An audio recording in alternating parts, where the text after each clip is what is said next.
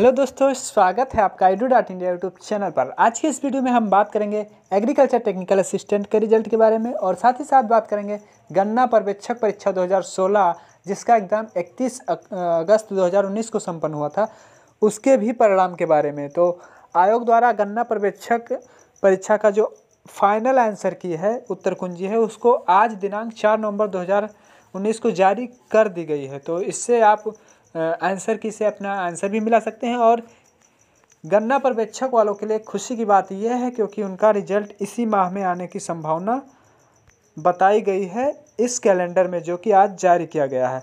तो गन्ना पर्यवेक्षक परीक्षा का इसमें देख लीजिए। माह नवंबर 2019 में लिखित परीक्षा के आधार पर साक्षात्कार हेतु अहर पाए गए अभ्यर्थियों का परिणाम का प्रकाशन संभावित है इसी महीने में।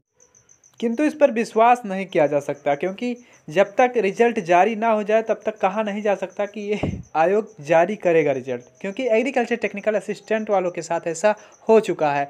एग्रीकल्चर टेक्निकल असिस्टेंट का रिज़ल्ट देखिए, सितंबर में ही आने वाला था। तो सितंबर से बढ़ाकर फिर नेक्स्ट कैलेंडर में अक्टूबर किया गया। अक्टूबर में भी नहीं आया रिज़ल्ट, नवंबर बताया गया।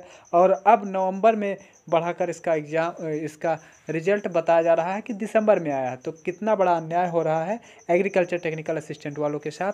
तो यहाँ पर एग्रीकल्चर टेक्निकल असिस्टेंट वालों को एकता बनाने की ज़रूरत है।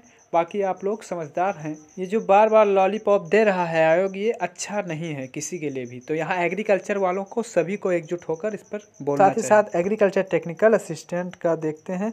तो एग्रीकल्चर टेक्निकल असिस्टेंट का जो है रिज़ल्ट वो अभी तक तो नवंबर में आने की संभावना थी लेकिन अब जो कैलेंडर जारी हुआ है आज उसमें माह दिसंबर 2019 में अभिलेख खाद के लिए परीक्षा है तो आहर पाए गए अभ्यर्थियों का परिणाम संभावित है।